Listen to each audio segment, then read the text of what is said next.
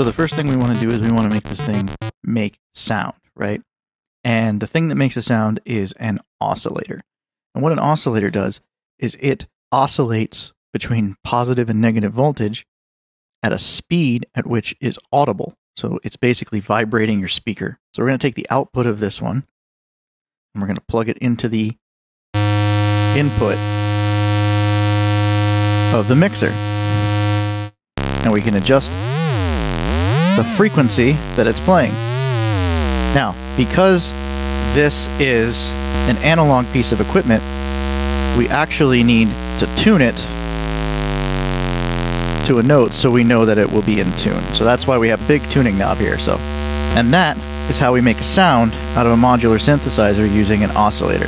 Follow for my next video where we're going to make this sound into something that we can control. So, till next time.